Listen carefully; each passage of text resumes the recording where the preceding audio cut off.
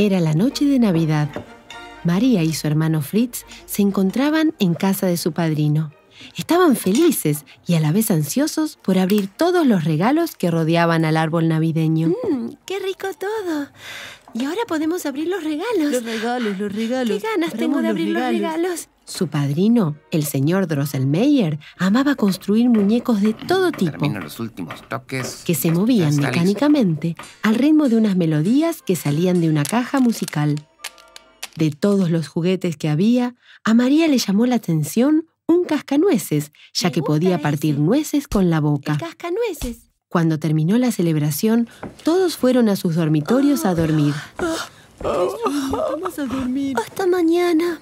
Pero María, que no lograba conciliar el sueño, fue nuevamente a la sala para ver a su cascanueces. Ah, voy a jugar. Qué lindo el cascanueces. Finalmente, se quedó dormida sobre la alfombra y comenzó a soñar que todo cobraba vida a su alrededor. María soñó que el rey de los ratones y su banda de roedores la aterrorizaban. En eso aparecían los soldaditos de juguete, comandados por el cascanueces para defenderla. ¡Vamos, vamos! Fritz los ayudaba como capitán de artillería y la niña se sintió protegida por estos nuevos amigos. Llegaron. Gracias. Sin embargo, comenzaban a perder la batalla. Hasta que María se armaba de coraje y le tiraba una de sus zapatillas al rey de los ratones. Lo derribaba y los ratones huían. Fue entonces cuando el cascanueces se transformó en un hermoso príncipe que invitó a María y a ¿Me Fritz a un viaje a través del bosque encantado. Oh, wow, qué hermoso. Al llegar al bosque, se encontraron con el rey y la reina de las nieves, quienes bailaron para ellos junto a los copos de nieve. La danza se fue convirtiendo en un torbellino, el cual finalmente impulsó al trineo hacia un lugar lleno de magia. María, Fritz y el príncipe llegaron al reino de los confites, donde los recibió un hada. Bienvenidos al reino de los confites. Pasen, bienvenidos. Allí, el hada le dijo al príncipe, ¿Por qué no nos cuentas alguna de tus aventuras como el cascanueces? Bueno, bueno, bueno. Si insisten. Eh, todo comenzó. Tras un día de esto, invierno. comenzó una fiesta maravillosa que culminó con un baile entre el príncipe y el hada. De pronto, María abrió los ojos y vio que estaba de nuevo en la sala de su casa. Tomó a su cascanueces del piso y se volvió a su habitación. Todavía podía escuchar la hermosa melodía de aquel gran baile, algo que nunca jamás olvidaría.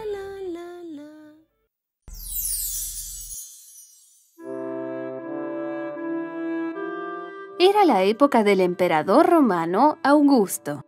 Este emperador un día decidió hacer un censo de la población y anotar el nombre y apellido de cada uno de los habitantes. Necesitamos hacer un conteo de la gente. Recolectemos sus datos, por favor. Así que toda la gente tuvo que acudir al pueblo en donde había nacido. Nombre, Juana, señor. edad, 30, señor. María, por entonces, estaba embarazada y tuvo que partir junto a su marido José hacia Belén, pueblo de nacimiento de ambos. María estaba a punto de dar a luz. Y llegaron a Belén una fría noche del 24 de diciembre. A su marido le preocupaba el estado de su mujer, no te preocupes, María. Encontraremos una posada. así que llamó a la posada más rica de todo Belén. Hola, ¿hay alguien, por favor? En nombre del cielo. Dijo al posadero. Pido posada, porque ya no puede andar más mi mujer amada. El posadero lo miró de arriba abajo y respondió. Yo no puedo abrirle. Deberán seguir camino y buscar otra posada. No seas inhumano. Insistió José. Ten caridad. El reino de los cielos te lo premiará. Ya se pueden ir y dejar de molestar. Contestó más enfadado el posadero. Así que José y María se pusieron en marcha en busca de otro lugar en donde cobijarse. Así es como llegaron a la posada de los peregrinos. José llamó a la puerta. Soy carpintero y me llamo José. Venimos rendidos desde Nazaret. Por favor, necesitamos un lugar donde pasar la noche. Mi mujer no puede andar más. No me importa su nombre. Lárguese de aquí. Yo lo que quiero es dormir. Cansados, tuvieron que seguir y buscar otra posada.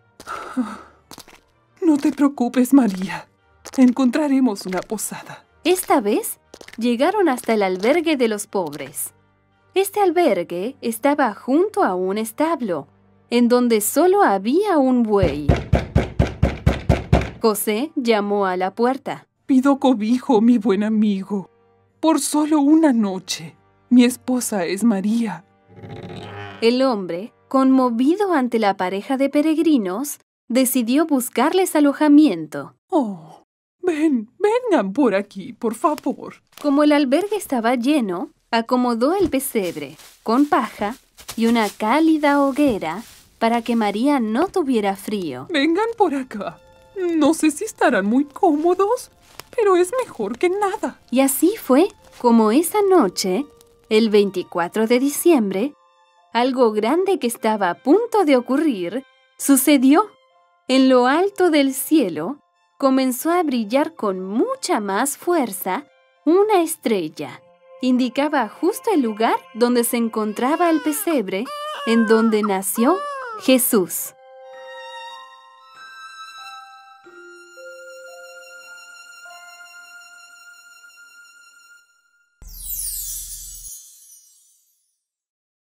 Todo comienza en la pequeña casa de una ciudad donde vivía un niño. El día de su cumpleaños, nuestro amiguito había recibido como regalo de sus padres una caja misteriosa. Lleno de curiosidad,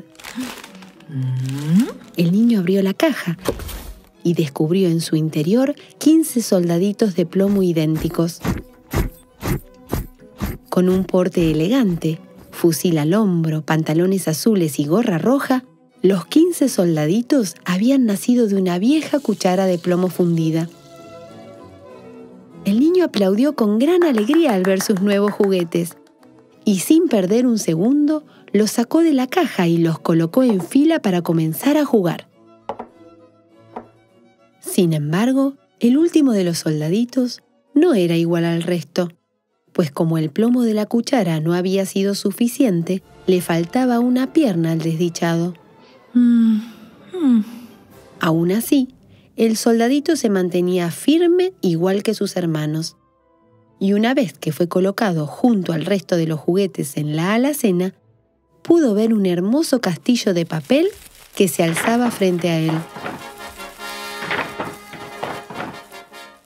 Aquel castillo era realmente deslumbrante, pero lo más sorprendente era una pequeña muñeca que se encontraba con los brazos en alto y una pierna recogida hacia arriba como suelen hacer las bailarinas. Al verla, el soldadito quedó completamente enamorado. Y como pensó que a ella también le faltaba una pierna, decidió tomarla por esposa cuanto antes. He encontrado a la persona perfecta para mí. Y encima tiene un castillo donde podremos vivir juntos. Pensaba el soldadito de plomo mientras contemplaba la belleza de su amada. Al llegar la noche, el niño terminó de jugar y se fue a la cama. Y en ese instante, los juguetes cobraron vida.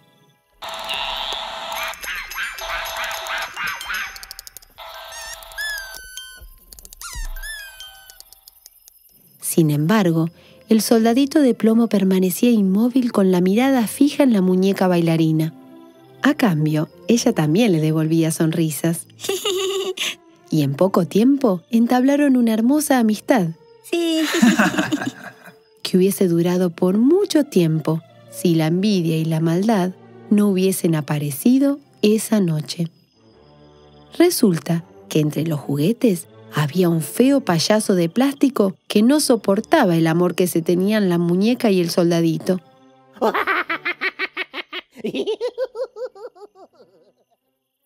A la mañana siguiente, el niño regresó a la alacena para jugar como de costumbre. Pero a la hora del almuerzo, abandonó al soldadito de plomo en el borde de la ventana. Y entonces el payaso malvado aprovechó para empujar al pobre hacia la calle. Desde una gran altura, el soldadito cayó sin remedio hasta caer en la calle.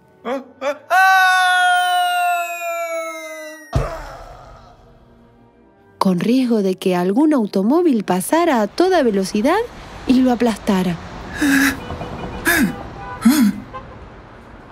Al caer la tarde, el cielo tomó un color gris y comenzó a llover tan fuerte que las calles se llenaron de agua.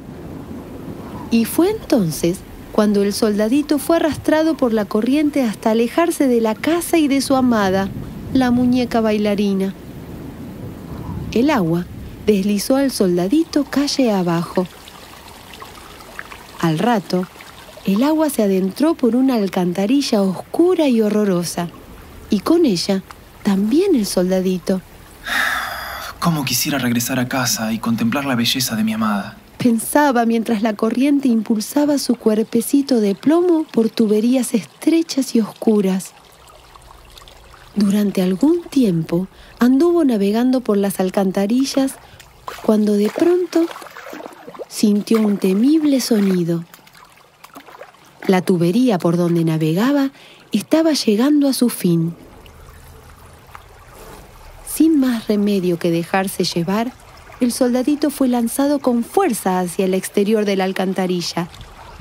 Y justo antes de caer en el estanque, un enorme pez saltó y se lo tragó de un solo bocado. Allí, en el estómago de aquel pez, el soldadito de plomo permaneció durante varios días. Y como todo era tan oscuro, no hacía otra cosa que pensar en su querida muñeca y en sus ganas de regresar a casa. Finalmente, el pez comenzó a moverse bruscamente. Luego quedó inmóvil y cuando pudo notarlo, el soldadito fue capaz de ver nuevamente la luz unos pescadores se habían hecho con el pez y lo habían vendido a una sirvienta.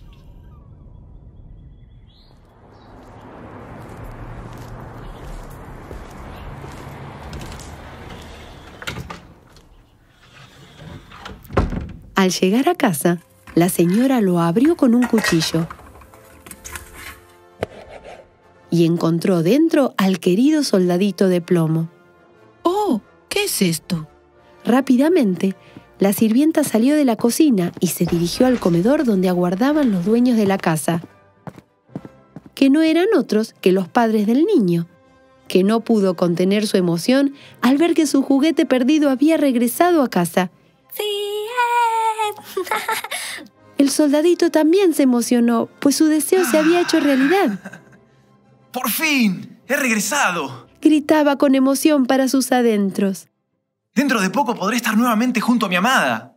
El niño colocó al soldadito en la alacena y desde una de las ventanas unos ojos bañados en lágrimas lo contemplaban. Era la muñeca bailarina. Llena de alegría al ver cómo su amado regresaba junto a ella.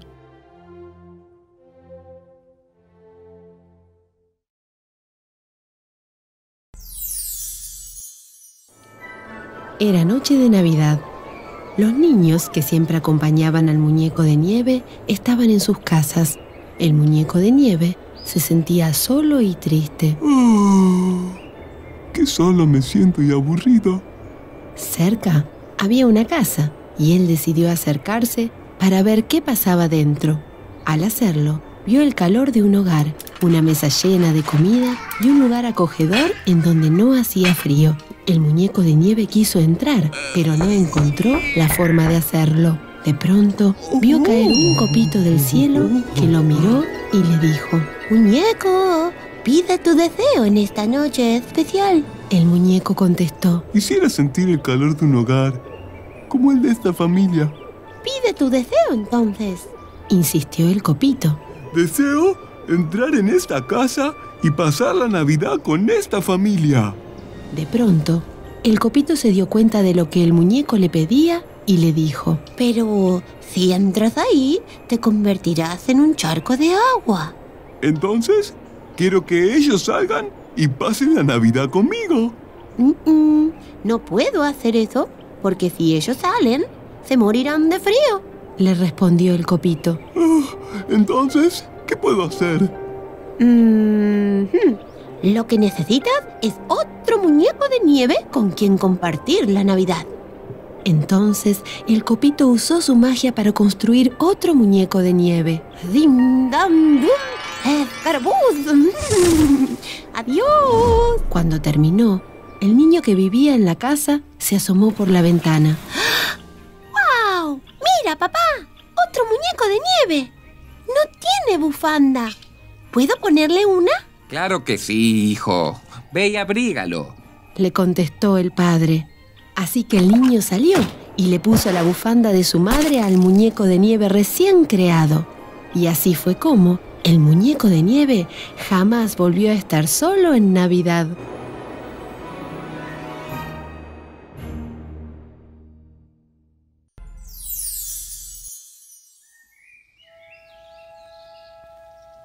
Ebenezer Scrooge era un empresario muy adinerado. Su único socio, Marley, había muerto. Ya me tengo que levantar de. Scrooge era una persona mayor y sin amigos. Uf, Él vivía en su mundo. Nada le agradaba, y menos la Navidad. Siempre se lo podía escuchar diciendo, ¿Navidad? Son paparruchadas. Una pérdida de tiempo. Scrooge hacía lo mismo todos los días. Caminaba por el mismo lugar sin saludar a nadie y sin que nadie lo saludara. No lo saludes, no lo saludes. La víspera de Navidad, todo el mundo estaba ocupado comprando regalos, mientras que Scrooge estaba en su despacho, como siempre, observando a su asistente, que pasaba unas cartas en limpio.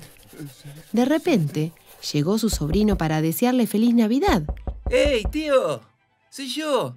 pero Scrooge no lo recibió de una buena manera. Sin dejarse intimidar por el mal humor de su tío, su sobrino lo invitó a pasar la noche de Navidad con su familia. Esperamos esta noche, tío. Pero él lo despreció. ni pensarlo. No gastaré un segundo de mi tiempo en esas paparruchadas. Su asistente, llamado Bob Cratchit, seguía trabajando hasta tarde, aunque era noche de Navidad. Se van a hacer las 12. Bob. Ven, ven aquí, Bob. Mañana te espero temprano para reponer el tiempo perdido por ese día. Ni se te ocurra llegar tarde. Le dijo Scrooge. Pero señor, mañana es Navidad.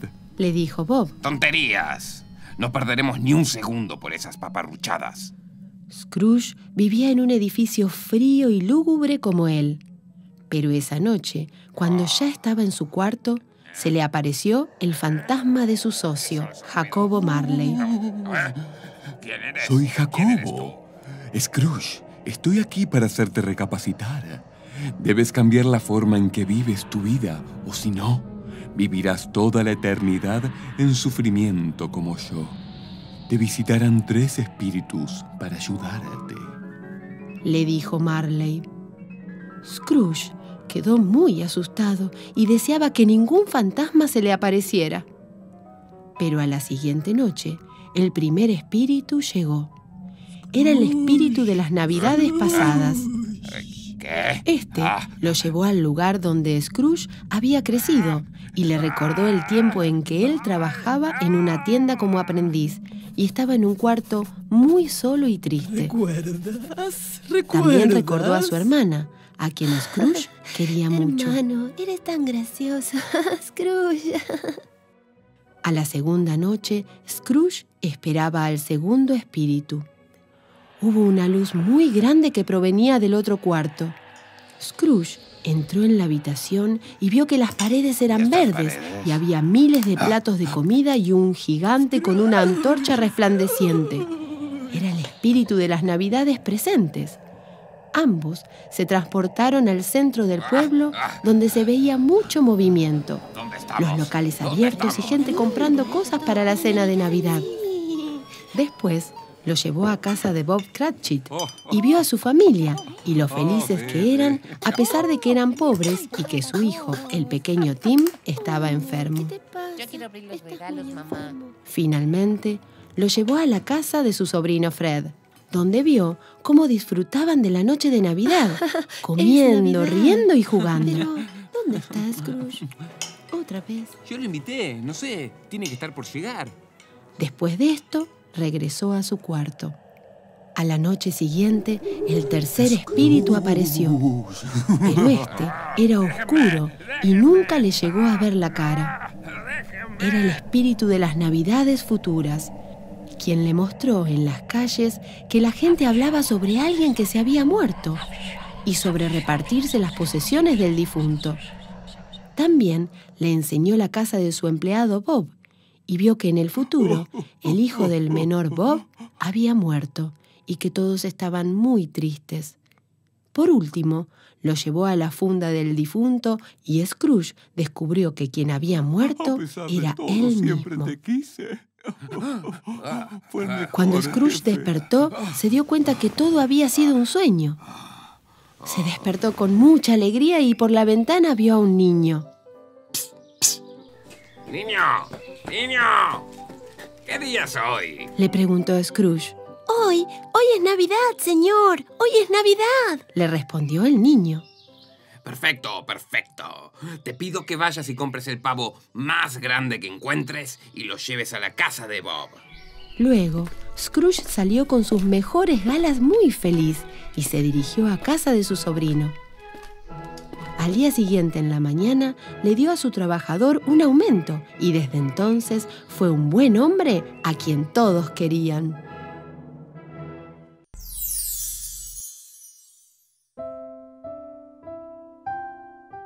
Hace muchos años, en el Polo Norte, vivía un reno que era distinto de los demás, porque tenía una gran nariz roja, lo cual era motivo para que las personas y los otros renos se burlaran de él. Mira esa nariz ridícula que tienes. ¿No te da vergüenza salir con esa nariz? ¡Sí, payaso! Le decían Rodolfo, el reno de la nariz roja, payaso, y todo el tiempo se reían de él. ¡Qué malos que son! Rodolfo siempre estaba solo, triste, deprimido. No entendía por qué era distinto a los otros renos. Por eso, sus padres y hermana siempre trataban de animarlo. Rodolfo, mi cuello es más largo que el tuyo. Le decía su hermana. Tu nariz es muy bonita. A mí me gusta. Le decía con amor su mamá. Pero nada lograba animar al joven reno. Entonces, decidió deambular solo alejándose de los demás. En la víspera de Nochebuena, Santa Claus se encontraba preparando su viaje en su trineo mágico tirado por renos para recorrer todos los hogares del mundo y llevarle obsequios a los niños que fueron buenos. ¡Jo, jo, jo, jo, jo! Ya casi estamos listos para salir. Santa nombraba por su nombre a cada uno de los renos, y estos hacían sonar sus cascabeles en señal de que estaban listos para partir. Trueno, relámpago, juguetón, cupido, cometa, brioso, bailarín. Cuando ya todo parecía estar listo, una espesa bruma cubrió toda la tierra. Y los renos no podían ver el camino. Esto ponía en riesgo la entrega de los regalos. Hmm, hay demasiado viento. Santa, preocupado, tentó hacer volar a los renos de todas formas. Tengan cuidado con este viento, no se ve nada. Pero Tormenta y Relámpago se negaban a volar. No, Santa, lo siento, pero con esta tormenta no podemos salir. No saldremos con esta tormenta. Lo siento. Nadie sabía qué hacer y temían que los niños no pudiesen recibir sus regalos. Rodolfo escuchó el alboroto desde lejos ¿Oh? ¿Qué es lo que sucede? Y la curiosidad por saber qué era todo ese ruido hizo que se acercara para saber qué pasaba. A lo lejos, Tormenta vio que una luz se acercaba. Cuando se dio cuenta que era la nariz de Rodolfo. Tú puedes ayudarnos. Con tu nariz alumbrarás el camino. El tímido reno no se había dado cuenta de que su nariz emanaba una gran luz. ¿Santa? Rodolfo se acercó a Santa, quien emocionado le pidió que lo ayude. Oye, Rodolfo, ¿crees que podrás ayudarnos esta noche? Sí, claro que sí, Santa. Rodolfo aceptó con alegría y se colocó al frente para guiar a los demás renos, quienes gritaban en señal de aprobación. Eso es, ahora sí podremos ir. Bien alumbrado el camino, con la nariz roja de Rodolfo, recorrieron el mundo entregando los regalos.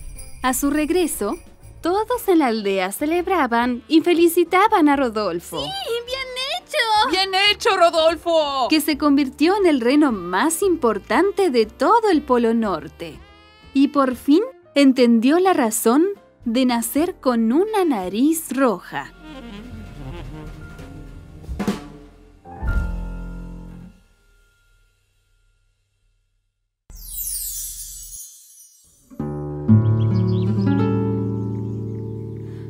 Preguntado alguna vez por qué es típica la flor de Pascua en Navidad? Cuenta la leyenda que hace mucho, mucho tiempo, en un pequeño pueblo de México, todos los habitantes se reunían en la iglesia cada año durante el nacimiento de Jesús para dejarle algún regalo. Al fin, al fin llegó A Manuel el le día. encantaba aquella tradición. Todos los años veía llegar a muchas personas desde muy lejos con regalos hermosos, cestas de fruta, ropa, algún juguete. Pero según pasaban los años, Manuel se ponía más y más triste. Él solo veía cómo todos iban y depositaban sus regalos, pero él no tenía nada, que Nada de regalar. Él era muy pobre y eso lo hacía sentir mal. Manuel quiso esconderse para evitar que los demás vieran que no tenía nada que dar. Así que se escondió en un rincón de la iglesia y comenzó a llorar. Pero pronto de sus lágrimas comenzó a brotar una hermosa flor con pétalos rojos. ¿Qué es esto? Manuel comprendió que aquella flor era un regalo de Dios para que Manuel se las regalara al niño Jesús. Contento fue y depositó aquella flor junto con los demás regalos, pero manteniendo el secreto que había nacido de sus lágrimas.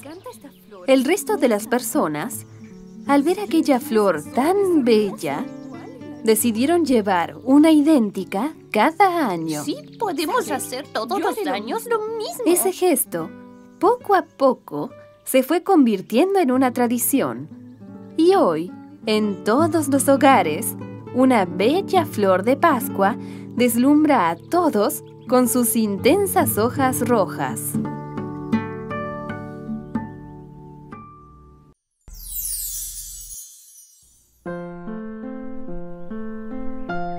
Había una vez un duende perverso que creó un espejo mágico incapaz de reflejar la bondad de las personas, devolviendo imágenes distorsionadas y terroríficas. mío! ¿Qué es por Dios! El duende llevó el espejo al cielo para escandalizar a los ángeles, quienes se vieron reflejados como horrorosas criaturas diabólicas. ¿Qué es eso que estoy viendo? Ante el terror de los ángeles, el espejo cayó a la tierra, rompiéndose en millones de pequeños fragmentos de cristal.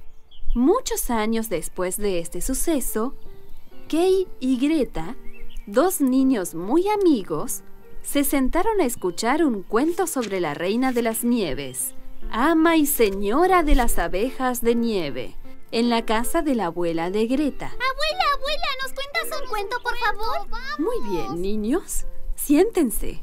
La historia contaba que estas abejas eran tan poderosas que eran capaces de helar a cualquiera que cayera bajo el filo de sus aguijones. Junto con los copos de nieve, las abejas forman un gran enjambre.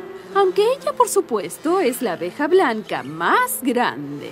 A veces revolotea por la ciudad, mira a través de las ventanas y éstas se llenan de hielo formando extrañas figuras, contaba la anciana. Esa misma noche, el pequeño Kay se quedó mirando a través de la ventana los copos de nieve que caían. De repente, ¿Qué es eso? cayó uno muy grande que fue creciendo y creciendo hasta que se convirtió en la reina de las nieves. Iba vestida de blanco, era muy deslumbrante y aunque estaba viva, estaba hecha de hielo. Kay se asustó tanto que se cayó de la silla en la que estaba subido y sin decir nada, se fue a la cama a dormir. Al día siguiente, algo se metió en el ojo de Kay. Me duele el ojo. Era uno de los fragmentos del espejo del perverso duende. Y algo raro ocurrió en el pequeño, porque desde entonces no volvió a ser el mismo. Se volvió gruñón, se burlaba de todo el mundo. Ya no te quiero, me molesta. Y todas las cosas bonitas empezó a encontrarlas feas y horribles. ¿Cómo lo ves? Un día de invierno, Kay estaba jugando en la plaza con su trineo. Cuando de pronto apareció un trineo más grande. La persona que lo conducía era la reina de las nieves. Hola. ¿Tienes frío? Un poco. Contestó Kay, que desde hacía un rato sentía que su corazón estaba a punto de convertirse en hielo. La reina besó a Kay en la frente y el pequeño dejó de sentir frío alguno. Le besó también en las mejillas y Kay se olvidó de Greta, de la abuela y de todos los demás. Cuando Greta vio que Kay no regresaba a la plaza, ¿Has visto a Kay? comenzó a buscarlo con tanta mala suerte que mientras lo buscaba, cayó en un río. Greta creía que iba a ahogarse. Cuando apareció una viejecita con un largo bastón de madera que consiguió acercarla hasta la orilla. ¿Qué hacías sola, niñita? ¿No sabes lo peligroso que es meterse en la corriente? Anda, ven conmigo a comer algo y me cuentas qué haces aquí. Greta tuvo algo de miedo, Está bien. pues no conocía a la anciana, pero estaba cansada y tenía hambre, así que la acompañó a su casa. La anciana le dio cerezas y mientras le peinó los cabellos con un peine mágico de oro, con el que según le peinaba, iba olvidando a Kay. Greta se quedó con la anciana, haciéndole compañía durante el invierno. Pero cuando en primavera salió al jardín y vio una rosa, se acordó de nuevo de su compañero de juegos. Tengo que ir a buscarlo. dijo, y emprendió la búsqueda de nuevo. Greta siguió su largo viaje lleno de aventuras y desventuras, hasta que tras muchos incidentes, llegó al palacio de la Reina de las Nieves. Era muy frío y grande, pero todo estaba vacío. Hola. ¿Hay alguien aquí? Allí no había alegría, ni bailes, ni juegos. De repente Greta vio un lago helado y cuando se acercó a él, por fin pudo ver a Kay. ¡Kay! ¡Kay! ¡Soy yo, Greta! Pero el pobre muchacho estaba congelado y no se movía. La niña lo abrazó y comenzó a llorar. Sus lágrimas cayeron sobre el pecho de Kay y llegaron hasta su corazón helado, consiguiendo derretirlo. Le dio un beso en las mejillas y éstas enrojecieron. Lo besó en las manos y en los pies, y Kay empezó a moverse. La pequeña lloró de nuevo de alegría, y sus lágrimas lograron que el cristalito que Kay tenía en el ojo desde hacía tiempo, por fin saliera. Los dos estaban tan contentos que no podían dejar de abrazarse, reír y llorar de alegría. Al fin pude sacarme esto del ojo. Al llegar a su ciudad, se dieron cuenta de que nada había cambiado, salvo por un pequeño detalle. y es que se habían convertido en personas adultas. Las rosas habían florecido y junto a ellas estaban las dos sillitas en las que solían sentarse. De modo que allí decidieron sentarse los dos adultos que en el fondo seguían siendo niños en su corazón.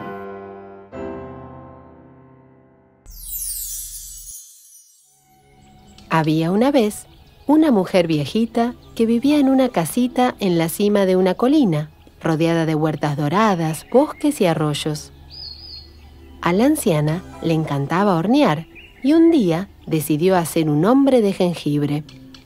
Formó la cabeza y el cuerpo, los brazos y las piernas. Agregó pasas jugosas para los ojos y la boca y una fila para los botones en la chaqueta. Luego puso un caramelo en la nariz y lo puso en el horno. Una patita por aquí, un ojito por allá. A ver. La cocina se llenó de un olor muy dulce y cuando el hombre de jengibre estaba crujiente, la anciana abrió la puerta del horno. Mm, a ver. ¡Uy! El hombre de jengibre saltó del horno y salió corriendo y cantando. corre, corre tan pronto como puedas. no puedes alcanzarme. Soy el hombre de jengibre. La anciana corrió, pero el hombre de jengibre corrió más rápido.